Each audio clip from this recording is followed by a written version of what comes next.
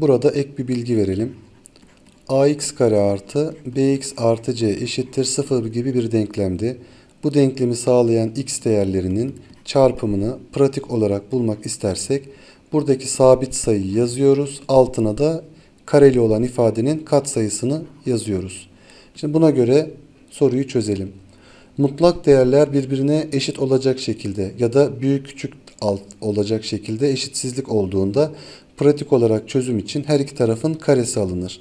Sol tarafın karesi 9 parantezinde b eksi 1'in karesi parantez gibi düşünürsek b kare eksi 2b artı 1 olarak bulunur.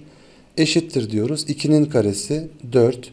Burada da b kare artı 2b artı 1 vardır. Parantezleri dağıtalım. 9 b kare eksi 18b artı 9 oldu.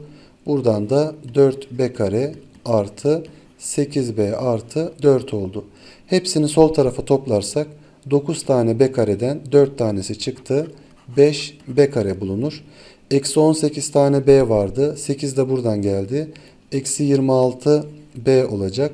9'dan da 4 çıktı. Artı 5 eşittir 0 olur. Bunu sağlayan b değerlerinin çarpımı dediğimizde buradaki c değerimiz 5'tir. A değerimiz de 5'tir. 5 bölü 5'ten 1 gelir çarpımları.